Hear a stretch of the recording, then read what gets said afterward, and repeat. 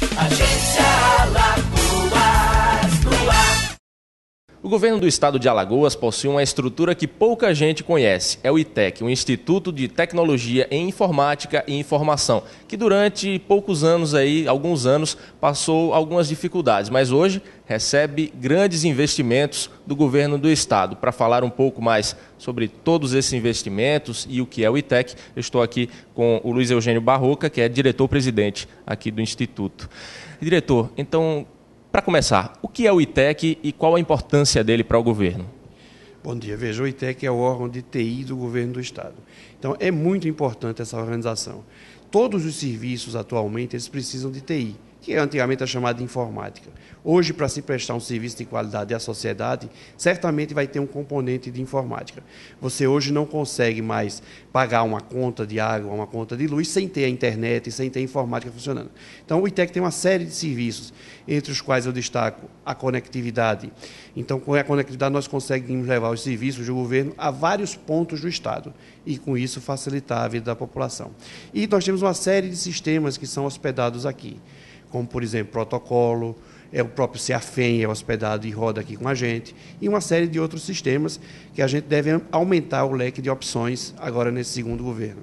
É que é uma, uma ferramenta então importantíssima para a governabilidade do estado de Alagoas. É o, digamos que seria o coração Sim, sim. E realmente, nesses últimos anos, nós conseguimos ter um investimento, investimento muito significativo. Tá? Nós reformulamos todo o nosso parque de equipamentos. Nós recebemos um investimento de aproximadamente 6 milhões nos últimos anos. Então, nós é, investimos em equipamentos de ponta, em servidores, em estações de trabalho. Nós compramos, regularizamos softs que antes a gente não tinha. Inclusive a plataforma, por exemplo, Detran, que antes os softwares não eram legalizadas, hoje funciona todos com softwares legalizados. Nós fizemos uma revisão na, nosso, na nossa rede elétrica e uma parte da nossa estrutura. Então, quer dizer, melhorou sensivelmente a estrutura do ITEC.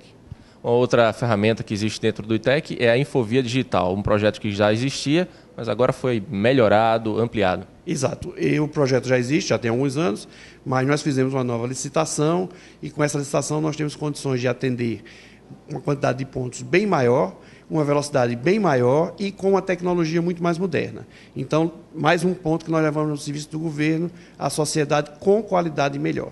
Como é que funciona essa infovia digital? Isso é a conectividade. Por exemplo, o, o, um caminhão e uma transportadora, na hora que ele para num posto da Secretaria da Fazenda, posto fiscal nas fronteiras, essa comunicação se dá com os servidores da Secretaria da Fazenda através de um link de, de comunicação.